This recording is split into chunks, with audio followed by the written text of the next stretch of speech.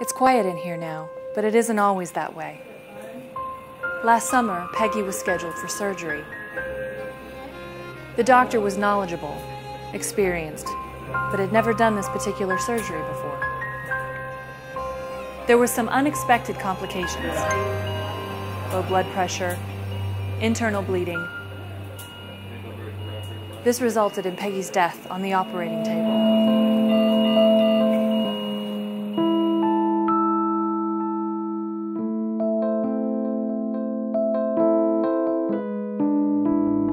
Happy ending is that Peggy is a surgical simulator.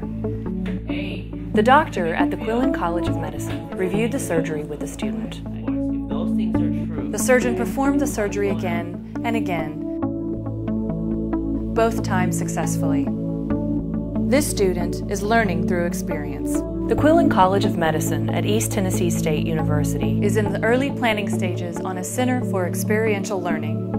This is a place where old fashioned hands on learning can combine with modern communications and bring these experiences to the region and the rest of the world. This training isn't just for students, it's part of the professional healthcare culture of lifelong learning. Because healthcare keeps changing. Since 1979, 14 new viruses have been identified. Four strands of avian flu have just materialized. There have been rapid advances in the treatment of heart disease. Diagnostic tools have advanced tenfold. New medicines and treatments are being developed daily. This information comes from research from our universities and private corporations. And we must get that information into the hands of the healthcare professionals who are out there every day with patients. MDs and nurses are required to take continuing education to keep them current and licensed. We're looking for a place where students and professionals can get information, where uh, doctors, nurses, and healthcare professionals can gain current medical knowledge, and where the power of broadband communications can broadcast this lesson any place, anytime.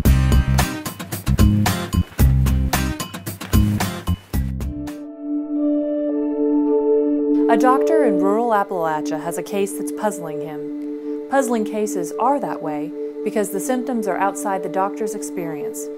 Doctors typically have access to reference materials to aid in diagnosis journals, articles, and documents. But you can't learn everything from a book. Imagine not just reading about a surgery, but seeing it performed as many times as necessary and with commentary by a surgeon. The case in rural Appalachia has a better probability of success since the doctor has actually seen the treatment and outcomes. In your case, I'm going to recommend surgery. And that recommendation is based on experience. Experience that was gained by watching medical practice remotely, anytime, anywhere. The combination of broadband applications and advancing medical practice can combine to create a world leader in medical training and experiential learning. Because experience really is the best teacher. Some things do best when left alone. Other things have to be designed, planned, and built if they're going to exist at all. At ETSU, we're planning a state of the art center for experiential learning, and we are asking for your help. It's a bold move in these troubled times, but the Quillen College of Medicine isn't standing by. We're planning for a new era with a multidisciplinary healthcare training facility. There will be a surgical theater and several auditoria for conferences and presentations. Users will be able to see specific surgeries or be briefed on the latest findings. And all of this will be at the start of a digital pipeline.